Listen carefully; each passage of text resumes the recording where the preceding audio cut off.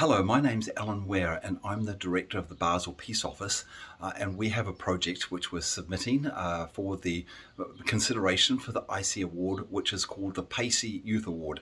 That's Peace, uh, Nuclear Abolition and Climate Engaged Youth Award. We hold this uh, every year uh, in conjunction with the Basel Peace Forum. We have three prizes of 5,000 euro that are available for youth projects on those key uh, issues. Uh, the nominations come from around the world uh, and then we have finalists and participants at the Intergenerational Forum on Peace, Climate and Disarmament I get to choose the three winning projects.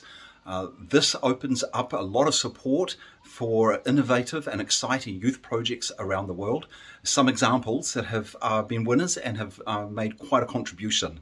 Uh, two years ago, one of the winners was World's Youth for Climate Justice for their proposal to take the issue of climate change to the International Court of Justice uh, because the negotiations uh, at COP are not sufficient to be able to protect the climate. Mm, with the award, they actually elevated their campaign and are now successfully in the court. The International Court of Justice is now considering the case.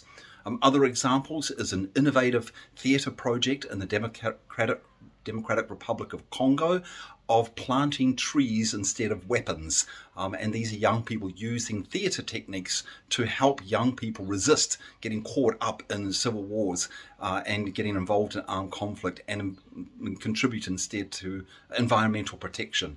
Another one is a Georgia, a Tbilisi, Georgia project, which is working with Ukrainian and Russian youth these are people escaping from either the war in Ukraine itself or the authoritarianism in Russia and helping youth to be able to deal with these situations through emotional intelligence and conflict resolution. These are just a few examples of the really innovative and exciting youth projects which get attention and elevation through the PACEY Award and through our annual intergenerational forum uh, in order to advance these.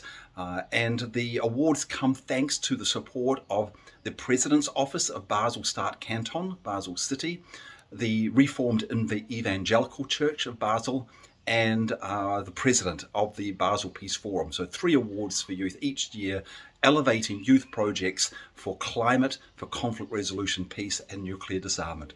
Thank you very much.